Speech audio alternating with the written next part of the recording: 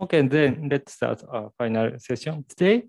Our final speaker is Matthias Gaberdiel from uh, ETH Zurich. Uh, he will tell us about uh, the string dual of uh, free clinical force by.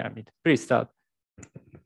Okay, well, thank you very much for the invitation. I would obviously love to be in Kyoto in person, but um, these days uh, one has to do what one can do.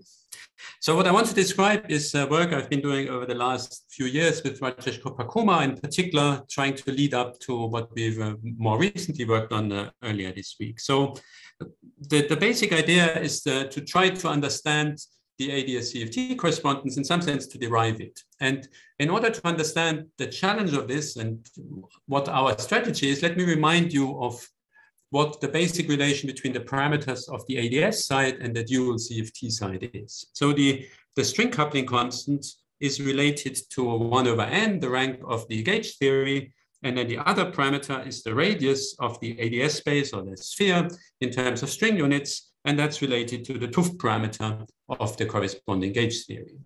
So it will be typically at large n, so that the string coupling constant is small, and then, as you know, at large n, the effective coupling constant of the gauge theory is the 't Hooft parameter.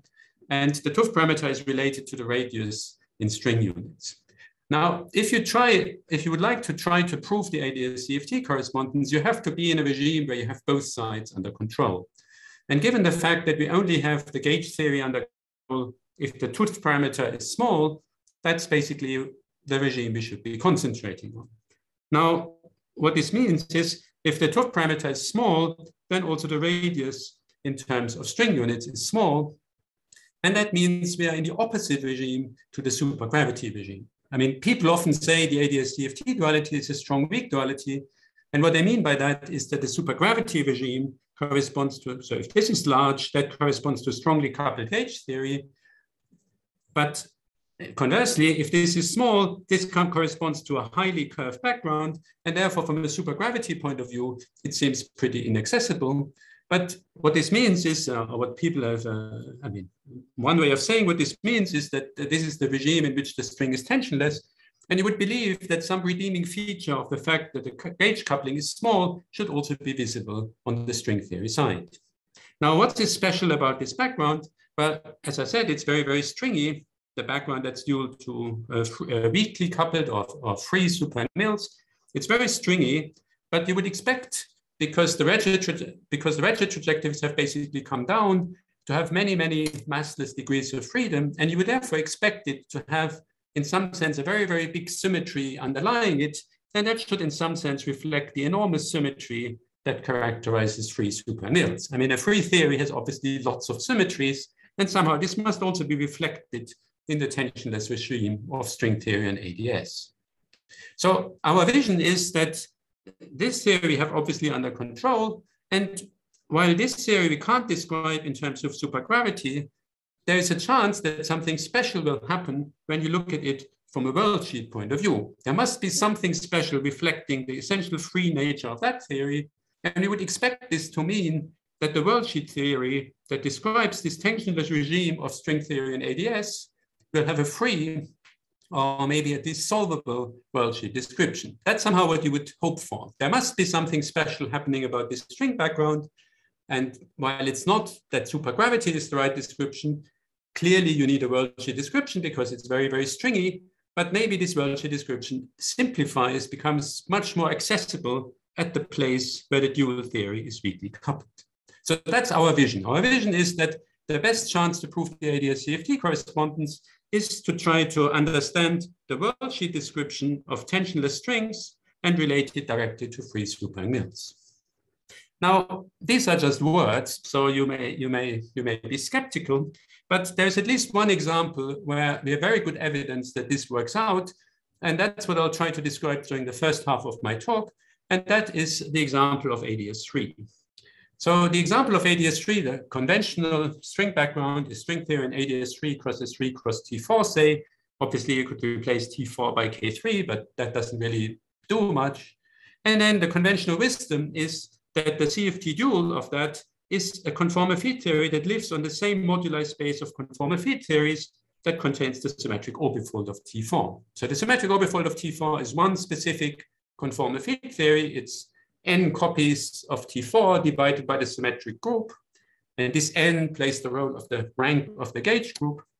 And then a, a general CFT you can obtain by perturbing that CFT by an exactly marginal operator.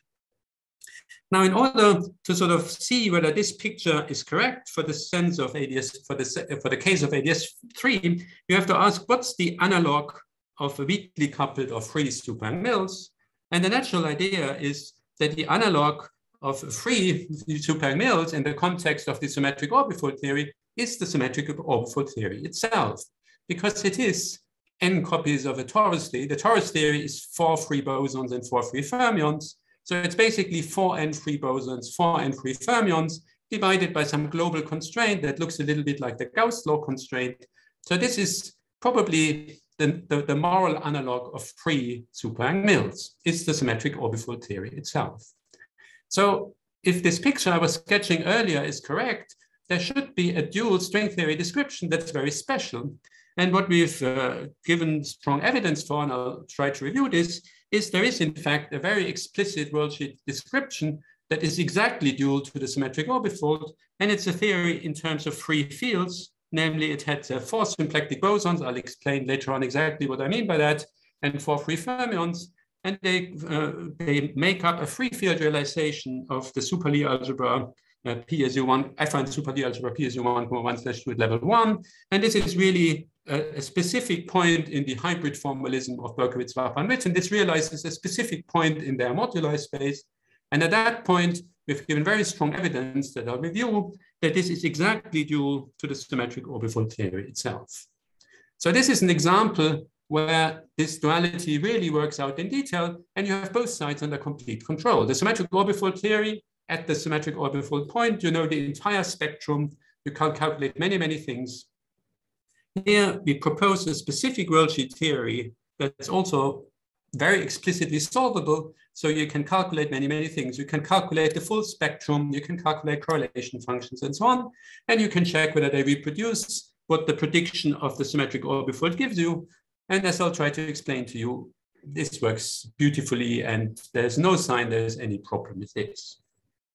So encouraged by that fact, by that it works so nicely for ADS3, we've been pondering during the last year or so, what could be the correct worldsheet description for free n equals to four super Mills?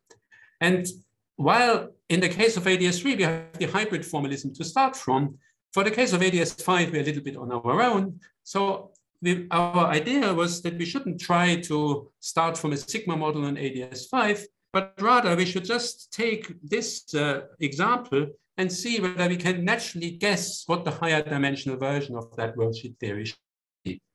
And the natural guess you come up with for a variety of reasons is that it should simply be another free field theory that is basically twice the size of the ADS3 free field theory, which consists of eight symplectic bosons and eight free fermions, right? so twice as many as for ADS3. They uh, make up a free field realization of the affine super algebra PSU 2,2 slash 4 at level 1, and they look very, very similar to the, the twistor string that Berkovits proposed many years ago. So it's, I mean, the details are a little bit different, but same ballpark, and it looks very much like the sort of twistor type description. Now, this theory we have under much less control than the hybrid formalism, where you basically know how to characterize physical states. So this is a bit more vague, but there's a natural guess for what the quantization of that theory should amount to. And if you follow your nose and you imply you apply this guess, then what we've shown is that it reproduces exactly the spectrum of n equals to four, uh, a free n equals to four super Yang-Mills. And when I say spectrum, I mean the entire single particle spectrum, single trace spectrum, but not just the BPS states, the entire degrees of freedom, including all the right multiplicities. So we believe this is a good sign that we are on the right track, but obviously for the case of ADS5, there's much more that needs to be checked, that this is at the earlier stage in the development, but given the success for ADS3 and the parallelness of this construction to the ADS3 construction, we're pretty confident that at least we are essentially doing the right thing. So the plan of the talk is that I'll, I'll spend uh, probably the first half or so on trying to review for you what we know about ADS3, partially because that's really what we know very well. There are many, many checks we've performed. There are many detailed things I can explain to you. And also because most of these techniques should really generalize to ADS5, where we are at an earlier stage of the development and these things still need to be worked out, but we would expect the essential features to be the same. And then I'll, I'll end with some conclusions and uh, some outlook. Okay, so let me start by reviewing how the story works for ADS3.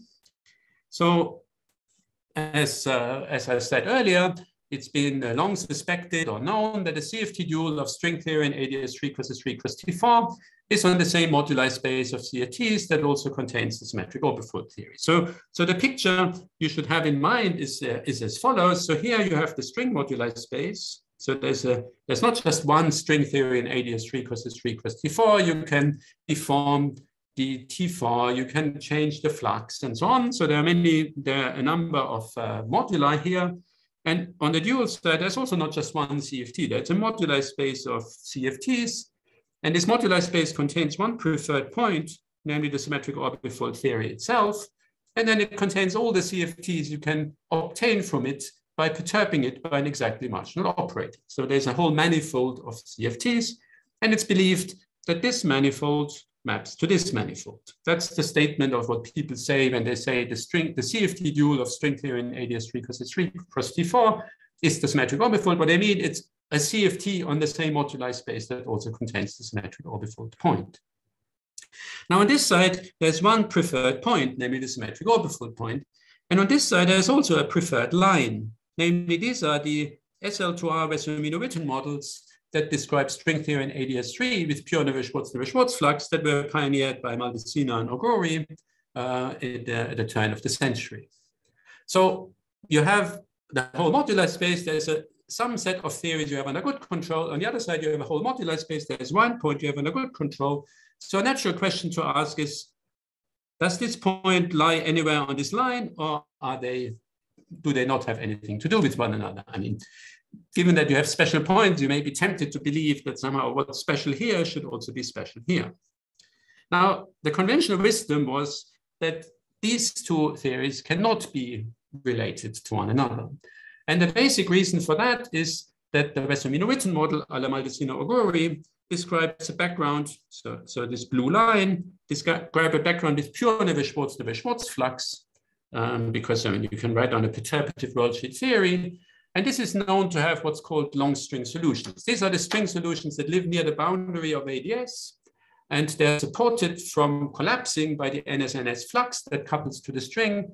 And because they're living very close to the boundary, their excitation spectrum is very redshifted, and they basically have a continuum of excitations. And this continuum is not visible in the symmetric orbifold theory. So therefore, the symmetric orbifold theory can't have anything to do with the pure Neveu-Schwarz uh, theories that are described by the Wessel-Witten model. So that was the sort of conventional wisdom. So there were these special points, but clearly they didn't have anything to do with one another.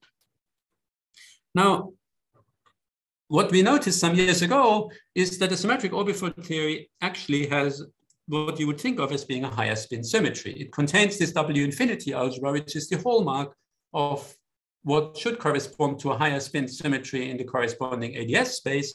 So this suggests that a symmetric orbifold theory should be dual to a tensionless string. And tensionless string should mean it should be dual to a string, as I said before, where the radius of the space is of the same size as the string length. So if you think about it from the point of view of these Wessel-Witten models, if it's dual to any of them, it must be dual to the one with the smallest value of the level, because the level is basically a measure for the size of the ADS space in string units. Now, you may still be suspicious whether this works for the reasons I gave earlier, namely that's pure Neveu-Schwarz and Neveu-Schwarz flux and should have a continuum. But you know, at very small string length things, a very stringy background, sometimes funny things happen that are not that uh, sort of easily to guess based on geometry. So at least it's a plausible idea that maybe the symmetric orbifold theory is due to the Wessel-Witten model at the smallest possible value of the level. And this made us analyze this possibility in detail. So we went ahead and studied this theory in detail. Now, this theory is a bit subtle, and I'll hint a little bit on this, because in the usual NSR formalism a la Maldacena Ooguri, there's a problem with the theory, as many people know, because the SU2 factor once we decouple the fermion would sit at negative level. And people have always thought that there's something funny about this theory. So our resolution is to describe this in the hybrid formalism where it's unproblematic to study the k equals to one case. And what we've shown is that if you take this seriously, we reproduce exactly the spectrum of the symmetric orbifold theory, and we also reproduce exactly the structure of the correlation functions. So there is something very special happening here. This continuum disappears for a reason I'll explain to you in a few minutes. And there is very good evidence that this theory is exactly dual to the symmetric orbifold. And that's what I want to explain to you in the following. So it's slightly different than what people thought because they thought this Neveu-Schwarz, Neveu-Schwarz line would nothing would have nothing to do with the symmetric orbifold. Generically, that's true, but at the very smallest level, there's some, something special happening, and that theory seems to be exactly dual to the symmetric orbifold theory. So this is uh, work I've been doing together with Rajesh and then with Lorenz Eberhardt, and then later also with uh, my uh, Andrea Dei and Bob Knighton, which are also PhD students of mine. So as I mentioned, the K level one theory is a bit tricky in the in the Wessel-Witten in the in the uh, NSR formalism, but there is this alternative formalism of Berkovits, Vafa, and Witten, which is called the hybrid formalism, where you go to effectively the sort of Green-Schwarz-like version, and in that this describe ADS3 cross S3 in terms of the, the supergroup Wessel-Witten model based on PSU 1,1 slash 2 at level K, and then you have a topologically twisted sigma model for T4. And there is very good evidence that that theory is exactly dual to the Maldacena-Ooguri background for any value of k at least k greater or equal than 2. So for k equals to 2, these two descriptions seem to be perfectly equivalent. The, the Maldacena-Ooguri description for k equals to 1 is problematic, but this theory has no problems whatsoever at level 1. But something very special happens at level 1, which is probably the reason why the dictionary to the Neveu-Schwarz-Ramond formalism breaks down. The fermions somehow sit in the wrong representation, and somehow the short representations don't fit into this NSR description. So what happens at level one when you look at this super uh, affine Kac-Moody algebra? Now, in order to understand that, actually it's not that difficult to understand. And the simplest way to understand is, is to observe that the bosonic subalgebra of the super affine algebra is just SL2 level one and SU2 level one. I mean, what PSU1, comma one slash two means is you have an SU1, comma one, and you have an SU2, both at level one, and then you have fermionic generators that sit in the bi, bi spinors of the two uh, bosonic subalgebras. So, so the bosonic subalgebra of this super affine Kac-Moody algebra is SL2 level one and SU2 level one. And if you know a little bit about conformal field theory, then you know that SU2 at level K has a very restricted set of representations, namely the spin of the highest weight states is between zero and k over two. So for k equals to one, there are only two possibilities. The ground state is either spin zero with respect to SU2 or it's spin a half with respect to SU2. These are the only possibilities. These are the only theories that are compatible with the null vector structure of the SU2 level one uh, affine Kac-Moody algebra. But on the other hand, if you ask what are the generic highest weight representations of PSU 1,1 slash 2, well, you have these fermionic generators, and generically, they produce a large representation of, uh, I mean, you can apply these uh, eight fermionic generators uh, many, many times. And if you start from some representation of SL2 that are labeled by the spin, I'm looking here at the continuous representations of SL2R, and N labels the dimension of the SU2 representation. So you start from some state in your in your Clifford module, and then you apply the fermionic generators, then a generic representation would look uh, as such, right? I mean, you start from here, you have four fermionic generators, they map you to these four, I mean, four creation operators that map you to these representations that lower the spin of SL2 by a half and lower or raise the spin of SU2 by half. And then you complete the whole multiplet, and that's the generic multiplet that you'll get. But if you look at this, you notice that if you start with a representation whose dimension is n with respect to the SU2 factor, then halfway down this diagram, you discover a representation whose dimension is n plus 2. That's uh, once you apply two spin a half generators and both lift the spin upwards.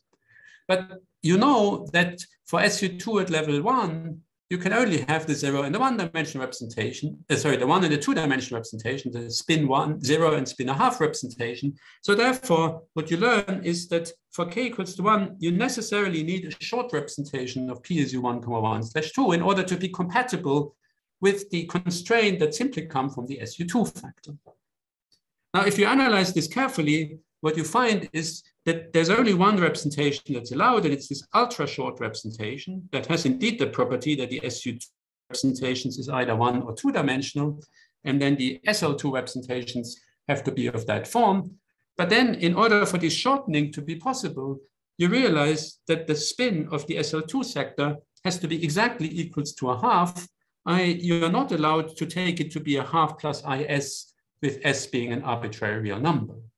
Now, this is exactly where the continuum of the long string spectrum comes from. The S parameter describes the continuum of this, uh, of this Wessel-Witten model. And the fact that at level one, this is frozen out means there's no continuum. And therefore at level one, you have a chance that this may correspond to the symmetric orbifold theory, which also doesn't have a continuum. So that was the first important hint that maybe at level one, something very special will happen and this general no-go theorem will not apply anymore. And the reason is very much the typical stringy reason that SU2 level one looks very different than a three sphere. SU2 level one looks like a circle, as you know. SU2 level one, despite the fact that it's the small radius regime of a strings on a three sphere, is actually equivalent to strings on a circle at a self-dual radius. This is something you don't see geometrically. This is a stringy effect. And it's exactly this sort of stringy effect that's at the heart of making sure that at level one, there's no continuum. And we get a theory that has at least a chance to reproduce the symmetric orbifold spectrum. Now, this theory actually is special in many other ways. In particular, it has a free field realization in terms of what we call some, or other people call symplectic bosons and real fermions. So fermions are just uh, uh, generators that satisfy anti-commutation relations of that kind. And symplectic bosons satisfy relations that look like spin and half particles, but they're bosonic. So they're sort of like like uh, like uh, bosonic ghosts. They're they're they're bosonic, but they are spin and half. And these, if you combine them together and you look at the bilinears, they generate exactly u1 comma 1 slash 2 at level 1. And then you have to divide out by some diagonal u1 factor to turn u1 comma 1 slash 2 into PSU1 comma 1 slash 2. I mean, this has to do with the fact this has central charge zero, this is central charge minus two, and you have to sort of uh, divide out by u1 and quotient out by another u1, and that reduces the central charge by two and turns you from u1 comma 1 slash 2 to PSU1 comma 1 slash 2. Now, if you think about, so, so, so now once we've understood sort of broadly what these uh, representations are, And now we want to study the spectrum of the worldsheet theory in detail and determine from it the spectrum of the space-time theory and see whether it matches the symmetric orbifold. So if you think about it in terms of this free field realization, there are two natural representations. There is what you would think of the Neveu-Schwarz sector and the Ramond sector. In the Neveu-Schwarz sector, all the fields are half integer moded. In the Ramond sector, all fields are integer moded. And if you we, we write this in terms of PSU1 comma 1 slash 2, then the Neveu-Schwarz sector gives you the vacuum representation. I should have mentioned that that's another possibility. And the Ramond sector gives you exactly the above short representation of PSU1 comma 1 slash 2 that I described to you in detail. And these are the only highest weight representations which this uh, super Lie algebra has. So if you draw them, uh, if you draw, uh, write out the SL2R quantum number and the conformal dimension, that's basically what the Ramond sector looks like. It's unbounded in either of these directions because the symplectic boson modes you can apply as many times as you want. And it uh, has a positive uh, L0 spectrum because it's a conventional highest weight representation. Now, already in the Neveu-Schwarz this Ramond description of Maldacena-Ooguri, one of the key insights was that the highest weight representations won't suffice, and you have to add in what are called spectrally flowed representations. The basic reason for that is that you see, because you have a time direction, you somehow your L0 spectrum needs to be unbounded for the worldsheet theory. This is like in, in flat space string theory. I mean, in flat space string theory, the, the L0 spectrum is unbounded because you can go to more time, more and more time-like momenta. And you need this, otherwise you, you get a trivial spectrum because you have to impose L0 is equal to one, say in bosonic string theory. And if you sufficiently many excitations, that means the ground state has to have as negative L0 eigenvalue as possible. So something similar happens here. And the proposal of Maldacena Ooguri is that these other representations are simply the spectrally flowed images of the representations from which we started. So in particular, what we propose is you take this Ramond sector representation and you take its spectrally flowed images. That's mimicking what Maldacena Ooguri did in the Neveu-Schwarz-Ramond description. Now, I don't want to go into all the nitty gritty details of the spectral flow, but basically spectral flow means that there's an automorphism of these free, if you write it in terms of these free fields, there's an automorphism in terms of these free fields. You move the mode number up and down by say W over two in such a way that the commutation relations are respected. And then you think of this as a representation with respect to the tilde modes, the original representation, and then you interpret it as a representation with respect to the untilde modes. And if you do that, then with respect to the untilde modes, you get shifts in the eigenvalue of J3 and in the eigenvalue of L0 that comes from the normal ordering terms that you pick up from shifting the mode numbers up and down. And what you realize is that with respect to these uh, new modes, this representation isn't highest weight anymore because that's the line that describes all the states with L0 equal to zero. Here are the states with L0 positive, and here are the states with L0 negative. And because it goes all the way to the right, there's no bound on how negative L0 can become. And that's what you need in order to get the sort of right stringy spectrum, which is uh, essentially what also motivated Maldacena Ooguri to introduce the same sort of representations in the Neveu-Schwarz-Ramond uh, context. Okay, so that describes the worldsheet theory completely, right? So we have the free fields and that they have a certain symmetry algebra. And I've just told you what are the representations of the free fields that appear this worldsheet theory. You take the Ramond sector, you take the spectrally flowed images, you combine them left and right with the same spectral flow, and you sum over all spectral, positive spectral flow numbers, and that's the spectrum you get. And now you can go ahead and ask, what is the symmetry, what is the physical space-time spectrum? Now you have a complete description of this worldsheet theory. So you impose the physical state condition, you ask how many physical states are there and what charges do they carry with respect to the conformal symmetry of the boundary theory. Now, what's important here is that PSU1, comma 1 slash 2 has many, many null vectors. And effectively, that's a reflection of the fact that SU2 at level one is really only worth one boson rather than three. And similarly, SL2 at level, the PSU1, comma 1 slash 2 at level one really only has two bosonic and fermionic oscillators. One way to see this is you have these uh, four symplectic bosons to start with, but then you have to divide out by this U1, and that basically kills two of them. So you only have two bosonic and fermionic degrees of freedom before you impose the physical state condition. And then the physical state condition basically kills two bosonic and fermionic degrees of freedom. And what you learn is that there are no physical states coming from the ADS3 cross S3 factor because it only had two bosonic oscillation modes to start with. And then the string theory physical state condition removes them. So the only degrees of freedom you retain come from the T4.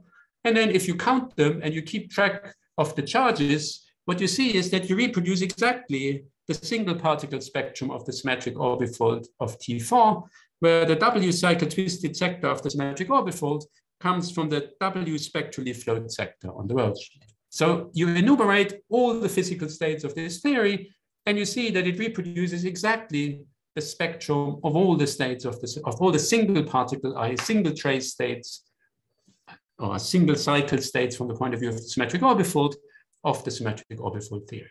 So this is already quite a strong piece of evidence that the spectrum is correctly reproduced by this worldsheet theory, and not just the BPS spectrum, the entire single particle spectrum. Now, in identifying the spectrum is the first step, but in order to show that the theory is really the you would actually also like to show that the correlation functions are exactly the same. Now, this is a bit of a slightly more complicated story, but there's a very elegant picture that emerges. Now, it's a little bit complicated to describe, but maybe it's easiest to start by explaining what the dual, what you should expect for the dual CFT. So suppose you start with the symmetric orbifold theory. The symmetric orbifold theory lives on a sphere, which is basically the boundary of ADS3. And in the symmetric orbifold theory, you're going to calculate some correlators with some twist fields. That's sort of the natural correlator you want to calculate.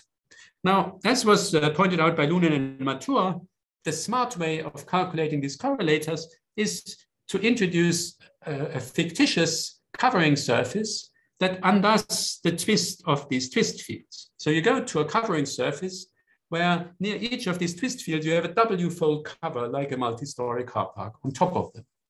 So what this means is you're looking for a map from some fictitious uh, surface, possibly of higher genus, that has the property that Z, which lives up here, gets mapped to the X, which is the coordinate of the dual CFT, and it has this structure. So Zi gets mapped to Xi, and near Xi, it has a W-fold critical point.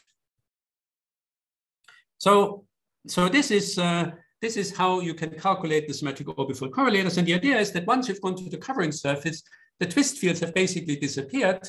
And then the um, once the twist fields have disappeared, then it's basically the vacuum correlator and the entire correlator is captured in the, the nature of this covering, so, uh, in, in this nature of this covering map. So this is what you expect from the symmetric orbifold perspective. So this, and this was already pointed out some years ago, but this very strongly suggests is in particular, the one over n dependence of the symmetric orbifold correlators is related to the genus of the surface, of this fictitious surface that you introduce out of nothing in order to calculate this correlator. What it suggests naturally is that this fictitious surface should be identified with the world sheet of the string theory, because then the one over n corrections to the symmetric orbifold correlators will come from the higher genus corrections of the world sheet, exactly as you would expect, because G string goes like one over n. So this suggests that the world sheet should be this covering surface that appears in the calculation of the symmetric orbifold correlators. And what this therefore suggests is that that should somehow emerge in our world sheet theory. So what we did is we calculated the correlators in our world sheet theory, and you have to be a little bit careful. These correlators depend on the z's, which are the coordinates on the world sheet, but they also depend on the x's, which are the place where the corresponding vertex operator is inserted on the, on the dual CFT. And then, so we calculated these correlators, and what we found quite remarkably is they are mostly zero, and they're only non-zero provided the ZR, ZI are such that the holomorphic covering map with these properties exist. I should maybe mention that holomorphic covering maps with this property typically don't exist. There is very restrictive condition. Typically, they don't exist. They only exist for specific configurations of the z ZIs and the x XIs. And what you find is that these, this, the world sheet correlators are actually delta function localized near the positions where these holomorphic covering maps exist. So therefore, in theory, the modular integral, where you integrate over all possible world sheets, this delta function basically picks out those points where a covering map exists, and you get a sum over all the covering maps with some coefficients, and that therefore has exactly the same structure as what you would expect from the Lunin-Mathur prescription. So this is a this is a very striking property of our world sheet theory, which we have derived uh, in particular in this paper. In this paper, we use the free field realization to show that it really is delta function localized, and therefore it produces manifestly the right structure to give you the symmetric orbifold correlators, including all higher genus corrections. So this is, I think, a very good indication that that world sheet here really exactly reproduces for you the symmetric orbifold correlators. We haven't proven it entirely because we haven't calculated these numbers in detail. There's some argument what they should be, but we haven't honestly calculated these numbers, but we see that it has exactly the structure of the way you would calculate the symmetric orbifold correlator, a la Lunin-Mathur, excuse me. Now, in this uh, in this free field paper, the way you saw this localization property was actually by some remarkable identity which correlators uh, satisfied. Namely, they had the property that this combination inserted into the physical correlator is identically zero. And that looks very much like the incidence relation in twistor space. So this looked like twistor variables and gamma of z should be identified with x. So this is basically telling you what a space-time point is written as the incidence relation of twistor space. And that seems to be the correct interpretation of our world sheet theory. Now, once you, once you observe that, there is a very natural guess for how you can generalize this to ADS5 because you can try to mimic this twistor description also for ADS5. so given the structure of uh, the what happened for ADS3 cross S3, what we proposed is that, and at the moment this is a bit of a wild guess, that the correct generalization is that you should simply double the number of symplectic bosons and real fermions on the world sheet. You, you don't have a T4 anymore. So basically, instead of having a T4, you put in another copy of four symplectic bosons and four real fermions. Now, the first indication that you're on the right track is that they generate U2,2 slash 4 at level 1, just like half of it generated U1,1 slash 2 at level 1. And you get from this PSU2,2 slash 4 at level one after you divide up by U1, just like mimicking what we did for ADS3. Now that's interesting because you see, you know, free n equals to four super mils has a global symmetry, which is PSU 2, comma 2 slash four. So at least you are producing the correct global symmetry of the dual CFT, and you have a chance that the spectrum of the dual CFT will naturally sit in representations of PSU 2,2 slash 4, which is already a good indication that maybe you're doing the right thing. Now, if you if you write out these uh, component fields, so what we have is we have uh, two sets of symplectic bosons, and then we have four free fermions. And uh, so, so they satisfy exactly the same commutation relations as before. So the lambdas and the mu's, they satisfy exactly the commutation relation we had before. And similarly for the uh, lambda daggers, sorry, lambda mu dagger and mu and lambda dagger, they satisfy one set of symplectic bosons. And then the fermions satisfy another uh, the, the usual uh, four fermion theory. And if you look at it, this actually looks very, very similar to the ambitwistor fields that Berkovits introduced to describe string theory in ADS5 cross S5. And given the fact that our worldsheet theory wants to be somehow a twistor theory, maybe that's the sort of correct uh, theory we should be aiming for. Now, Berkovits' theory is slightly different. He introduced an additional U1 field. He didn't have spectrally flowed sectors and so on. So there are key differences, but the field content, at least before you exactly explain what the spectrum is, looks at least very similar. And indeed, this looks like the ambitwistor fields on ADS5 cross S5. So this is another indication that maybe we are on the right track. Now, as I said before, you, you, you get PSU 2,2 slash 4. So how does this work? You look at the bilinears where you take one of the Y fields, I, one of the fields with the Dagger, and one of the fields without the Dagger, and then you just look at the normal ordered products of these and they generate U2,2 slash 4 at level 1. And then if you divide by this U1 field, which is this U1 field by which you have to divide, and that will play a role later on, you get P as PSU 2,2 slash 4 at level 1. Now this construction is actually also familiar to people who are familiar with string theory in ADS5 versus 5, or rather with people who are familiar with the uh, uh, integrability approach to n equals to four super mils, because this is really the current algebra version of the oscillator construction of PSU 2,2 slash 4, which enters into the spin chain description. So when people describe the spin chain, they also introduce such generators, except they just have a single generator because they just see the global PSU 2,2 slash 4 algebra. And what we are doing is really the current algebra version of it, where we have an affine algebra in this manner. But again, that connects to yet something else that naturally appears for ADS5 cross S5 uh, or n equals to 4 super mils. Now, the key step is to exactly say what the representations are that appear on the world sheet. And our guiding principle is that we should try to mimic what happens for ADS3.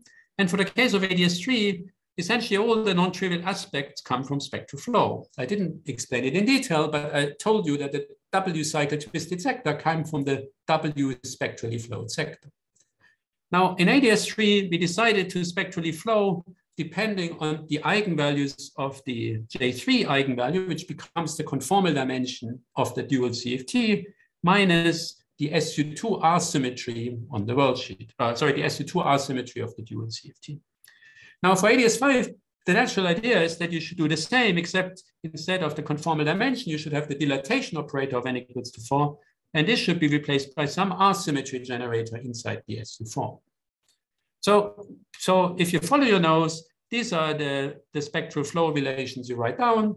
I again, you relate the tildes to the untildes theory, but, and some of them get moved up and down by W over two, and they get moved up and down depending on their eigenvalue with respect to D0 minus R0, which is a natural generalization for what we did in ADS3.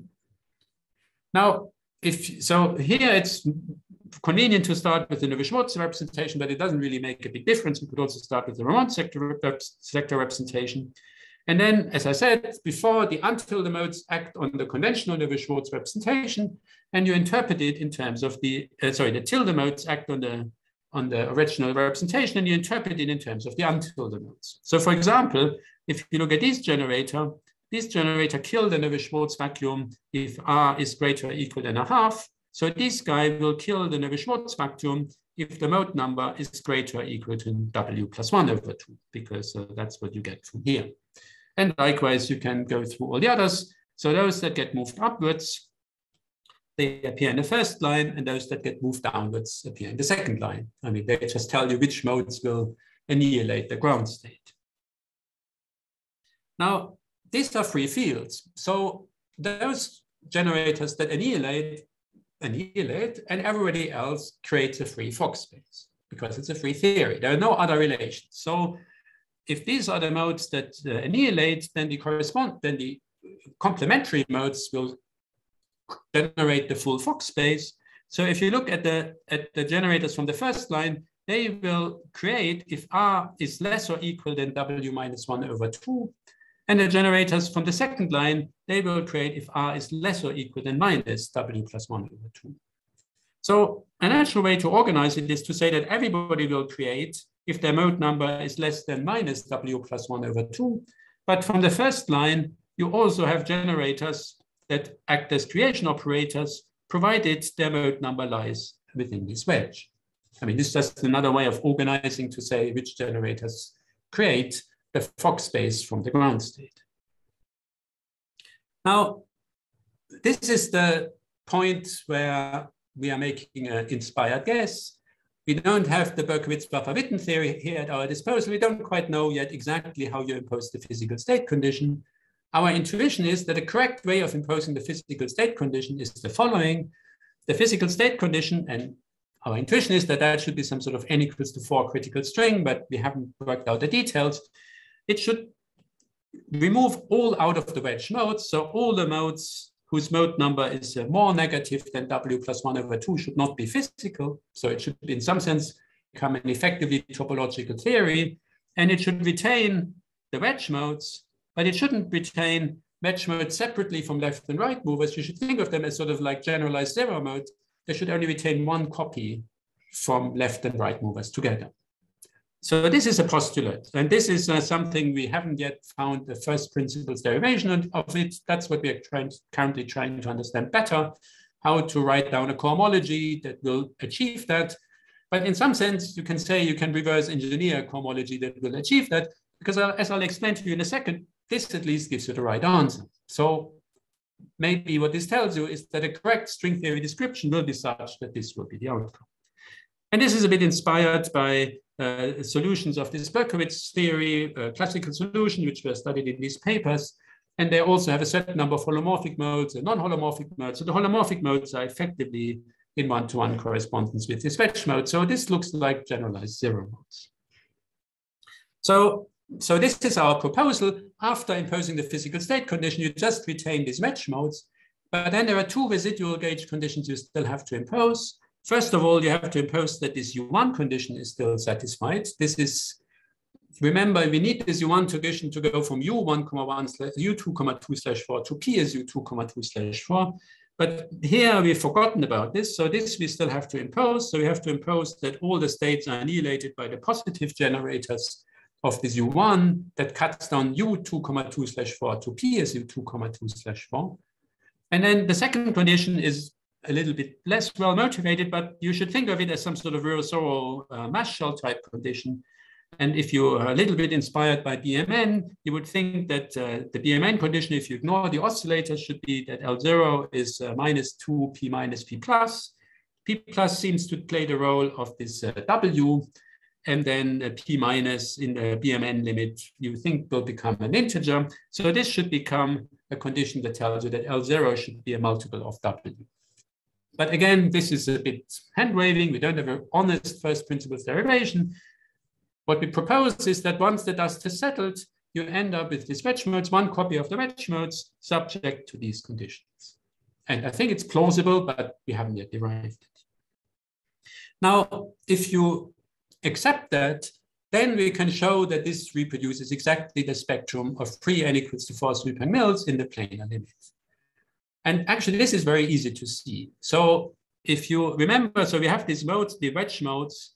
Um, so they run between minus w minus 1 over 2 and w minus 1 over 2. So they look like momentum modes. So if you inverse Fourier transform them, you can turn them into position modes.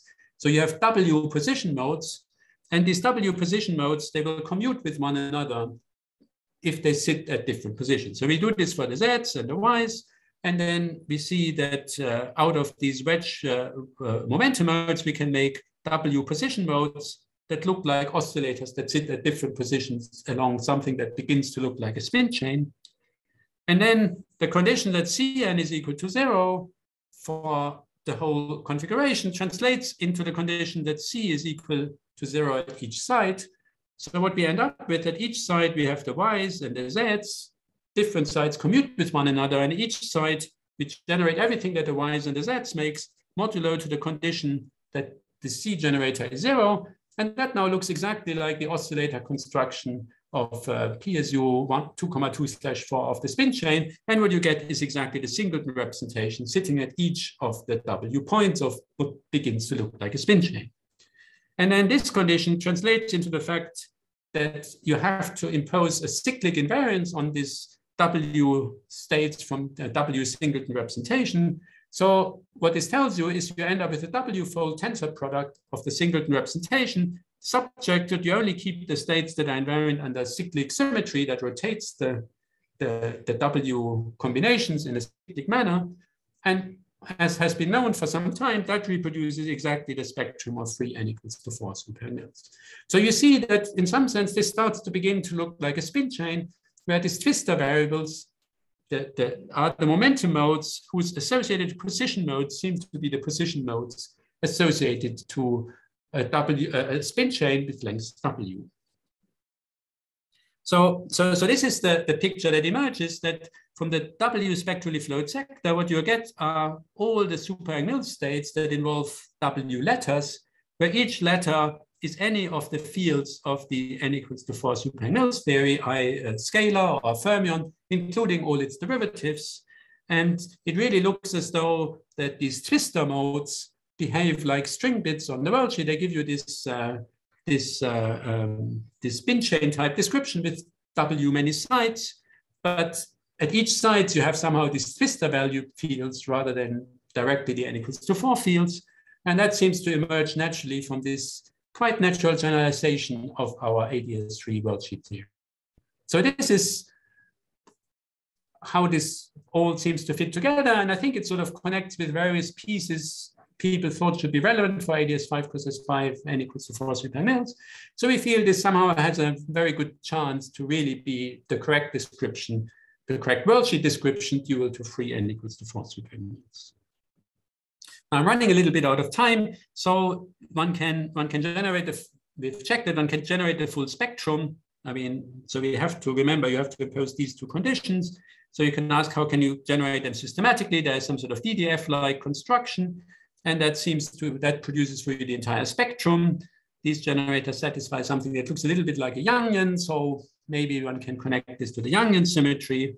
And we can enumerate the low-lying states by explicitly writing down which worldsheet degree of freedom reproduces which piece of the free n equals to 4 spectrum. So we've enumerated this for small values of W, and it works exactly as expected, but in some sense, that's just a consistency check on our general argument that I described for you earlier. One can also ask uh, how this works for ADS3, and there is a natural ADS3 version of it. I mean, here we're doing something slightly different because we don't have the Berkovits-Vafa-Witten cohomology argument. We have to invent what our physical state condition is out of thin air. So it's good to check that it reproduces some sensible bit for ADS3, and that seems to work out. So we are reasonably confident that that is the correct description. So let me try to wrap up. so I think the free field realization for ADS3 cross S3 that is due to the symmetric orbifold theory, that I think we have under very good control. There are many, many consistency checks. The spectrum matches exactly, the correlators match exactly. They suggest a relatively natural generalization to ADS5 cross S5, where you basically double the free field degrees of freedom that appear for ADS3 cross S3. Now, in the ADS5 story, we don't have a a first principles derivation for the physical spectrum, but a natural guess for what the physical state condition will amount to. And if you believe this guess, you find that it reproduces exactly the single trace spectrum of three n equals to four super Mills uh, from this worldsheet theory. So I think this opens the door for a proof of the ADS CFT correspondence in that case, because here is at least the candidate worldsheet theory together with open questions that has a very good fighting chance to give you exactly three n equals to four super Mills.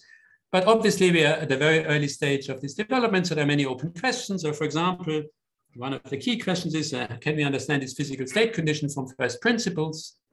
Then we would like to study the correlators. We would believe this localization type uh, incidence relation should work similarly here. That should allow us to do perturbation theory away from the free case. And then there are many things. I mean, you can look at uh, d-branes, you can try to understand the Yangian symmetry and the higher spin symmetry from a more manifest worldsheet point of view. And there are many questions that are opened by this, uh, by this uh, proposal, but I think this has a good chance to be the correct worldsheet description dual to three n equals to four super Mills, and it would be interesting to explore this further. So I'll thank you for your attention. Thank you very much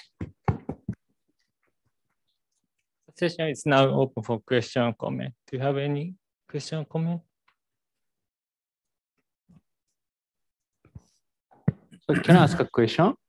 So sure. in BMN case, we have some, uh, we have oscillator, which is related to string theory, string theory yes. oscillator, and that's correspond to impurities among uh, BN, BMN operators. So in your case, do you have some counterpart of the, such oscillator in yeah, your home? I mean, yeah, we've, we've been trying to make sense. I, mean, a priori, you see, BMN is in the large, is in the supergravity limit, and we are in the opposite limit. So BMN is a far, a long way away from us. On the other hand, it feels like a sort of covariant version of BMN. So our rough idea is that these modes are like the BMN oscillators. So you see, the BMN oscillators, you don't have to impose these C conditions. So, so these modes are generated in such a way that they commute with this condition.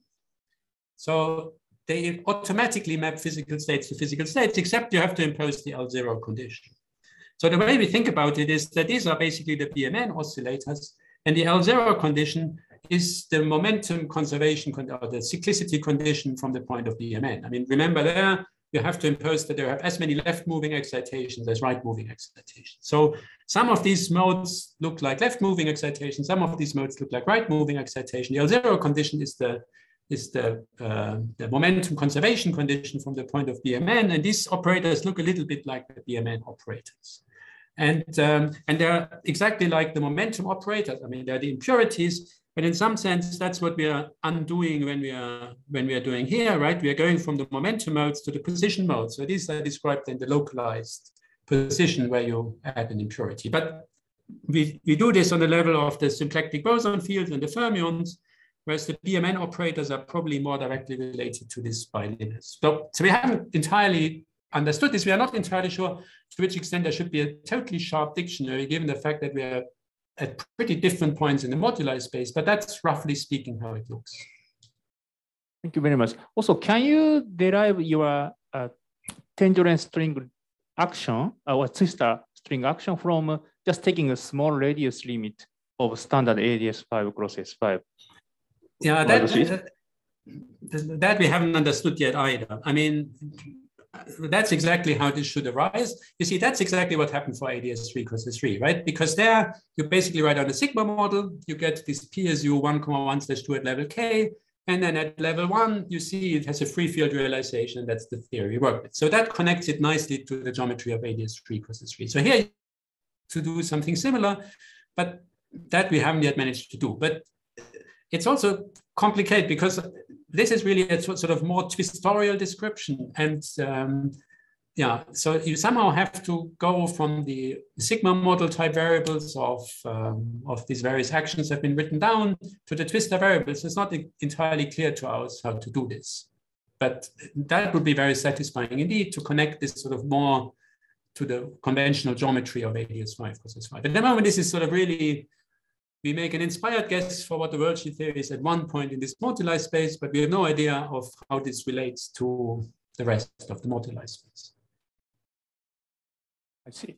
But sorry, actually, I mean, there's one thing you could try to do. You could try to sort of switch on the coupling constant that corresponds to turning on the volume. But the problem is that you have to go a long, long way before you go to the large volume regime. That's the key problem in relating it. But that may be possible eventually. Uh, I see. Thank you very much. Uh, so I have one more question. So do you, so from any equal for example, people do some orbifold to reduce and supersymmetry. Do you think there are chances that we can consider ADS CFT for non-supersymmetric. Uh, That's very good. Like so, yeah, actually, together with the postdoc Francesco Galvagno, we are looking at the uh, the orbifolds that reduce it to n equals to two uh, as a first step. So that seems to work quite nicely. So there is a so as you know, you can take an orbifold of n equals to four supermills that reduces it to n equals to two or n equals to one. And that seems to correspond on the world sheet to a natural orbifold action of the free symplectic bosons and fermions. Actually, it's only an orbifold action on the fermions. And we are currently working out the details for how this works. And the hope would be that you can go from n equals to four to n equals to two, n equals to one, maybe even down to n equals to zero. But at the moment, we are just trying to understand the n equals to two story. Thank you very much. Other questions?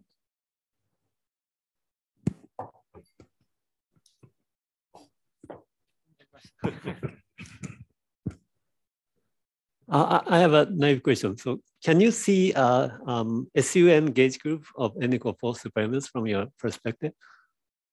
No, no, no, you don't. I mean, you see only, I mean, you see only, you should only see the gauge invariant operators, right? I mean, you don't. Yeah, yeah, that's true. But uh, in any case, um, I mean, there's no, yeah, I don't know. I mean, I mean, you know, you would expect n to correspond to g, one over n corresponding to g string. So you would expect that the higher, I mean, I mean, this picture we strongly believe will also work in uh, in this context.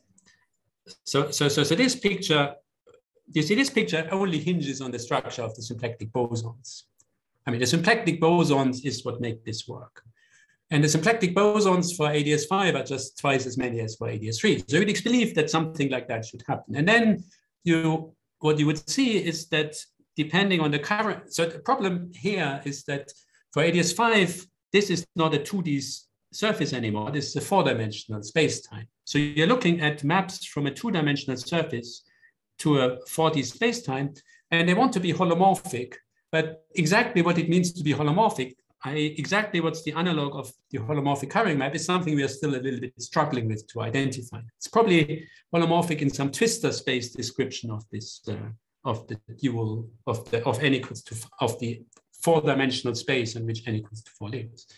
But what we believe is that ultimately n will emerge via the fact that you see the higher genus corrections reproducing the one over n corrections, like the non-planar corrections. So I think N you will see in that sense, but I don't think SUN, I don't see how we see this. There's certainly no, no direct sign of SUN being there. You really have, you only see probably the gauge I mean, you only see the, the single trace uh, operators and you don't know what you are tracing over, right? I mean, in some sense, you're just seeing that, but you're not seeing directly the SUN, at least not, not at the moment.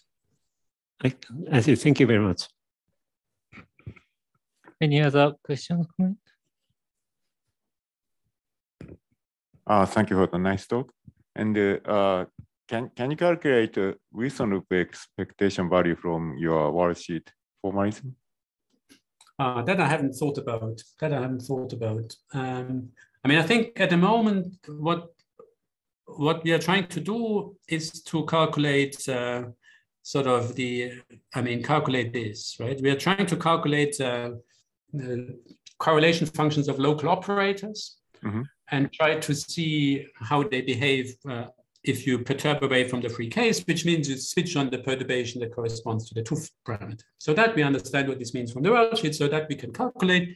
Mhm. This should become some localized function. So the modular worldsheet integral should localize to isolated points, should become a sum over suitable covering maps. And what you would hope is that this will reproduce the spin chain description of the calculation of the correlators from ADS5. Now, how a Wilson loop operator, which is the non-local operator, would fit into that, that I haven't thought about. Yeah, that's um, yeah, that that we haven't yet thought about. Okay, thank you very much. Other question, comment? Can you say a little bit more about uh, this higher spin and Yang- Yangian perspective? Yeah, so I mean, so so you can write down these operators, and these operators map physical states to physical states in the sense that they commute with this condition. So they state that satisfies this condition to a state that satisfies this condition, and they're like DDF operators. I you have to sort of make sure that their mode numbers aligns correctly so that to satisfy the physical state condition. Now these operators you can calculate their their, their commutators, and their commutators is not trivial, uh, but it basically looks like the, the Borel sub, the sort of truncated Borel subalgebra of the affine Kac-Moody algebra, which isn't quite the Yangian, but it's sort of, um, it's like the, the bilinear correction term is zero. So it smells a little bit that, and this is the sort of spectrum generating algebra. So you would expect, because the Yangian generates all the physical states, they sit in one representation of the, sit in few representations of the Yangian, you would expect that somehow the Yangian generators somehow to have something to do with these generators, which are the spectrum generating operators from our worldsheet perspective. But beyond that, we haven't understood uh, how that how that will work out. It's the uh, symmetry of n equal four super Yang-Mills at level. Well, I mean, so so so so so PSU two comma two slash four we see manifestly because these are just the zero modes from here.